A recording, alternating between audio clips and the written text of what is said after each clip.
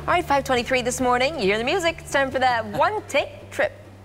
Although the school year is just around the corner, you might still be looking for ways to just go on a little vacation with your family. One Tank Trip highlights different places to go throughout our area that you can only get one take of gas and get there. And get out of the house, breathe some other Yeah. air besides what's in your living room. Right. Exploring caves to haunted houses to swimming with sharks even. Wow. 41 Action News traffic anchor Deja Jones has had a very busy summer, taking us all over the place. This week, she taps into her inner chef.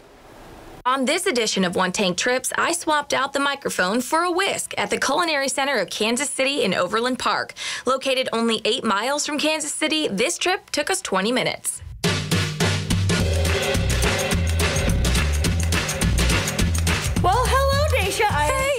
Garcia Schmidt. I am the lead instructor here at the Culinary Center of Kansas City. And in case you can't tell, I love my job. I love that. I love it. Okay, so Chef Jill, what are we making here today? So today we are going to put together this spicy brown mustard sauce that we are featuring on our charcuterie boards right now. I love that. And I love this sauce because it's perfect for summertime. It is spicy, but it, it has a lot of great uses, including you can put it on brats, hot dogs, you think meat and that's fatty and greasy, put it on there because it just balances out all of that fattiness with the acidity and the spiciness of the sauce. So, Chef Jill, you're talking my language I know, now. I'm telling you. Mm, my mouth's watering. I'm ready to get to it. While I whip up our sauce, let's talk about how you can join in on the fun. The Culinary Center of Kansas City offers cooking classes that are perfect for friends, couples, and even children. There is a minimum age of 14 for adult classes, but they do offer kids cooking classes for ages 5 to 14. For those of you who don't feel comfortable leaving your house just yet, there are also virtual classes. Now it's time to taste the brown spicy mustard we created for our charcuterie board. This one is a for sure. Cheers. Cheers.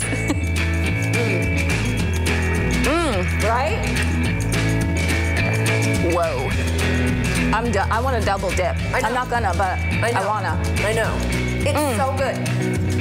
You've got. I could drink that probably. Oh, could you drink it? Yeah. I could drink that. You want to just go drink it? Yeah.